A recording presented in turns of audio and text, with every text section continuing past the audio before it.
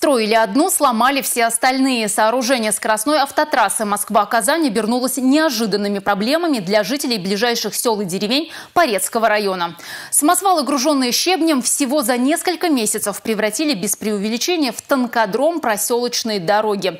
Репортер республики Екатерина Никитко попробовала проехать по непроезжим дорогам.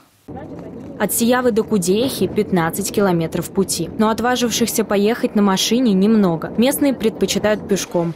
Повсюду ямы, ухабы и выбоины. Жители сел уверены, межпоселковую дорогу разбили, пока готовились к строительству участка новой федеральной скоростной трассы М-12 Москва-Казань. Грохот самосвалов теперь здесь раздается каждые пять минут. Везут строительные материалы.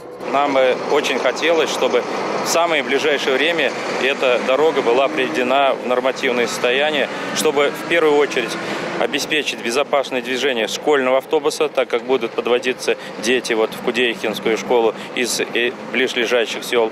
Дети в школу, кареты скорой и пожарные. Проезда нет никому. Министр транспорта Чувашской республики сам сел за руль автомобиля. Так можно оценить состояние дорожного полотна, что называется, во всей красе.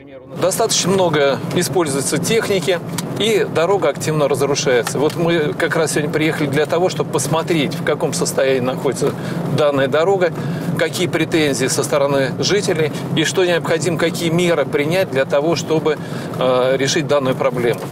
Представителями комиссии было принято решение уже 20 августа составить дефектную ведомость дорожного полотна. По сути, список ям и трещин с привязкой к местности. Сразу после этого начнется ремонт дороги и Бреси Березовка-Кудеиха. К 1 сентября все неровности должны быть устранены. После завершения строительства автомагистрали М12 на всех региональных дорогах, задействованных в перевозке строительных грузов, сделают капитальный ремонт.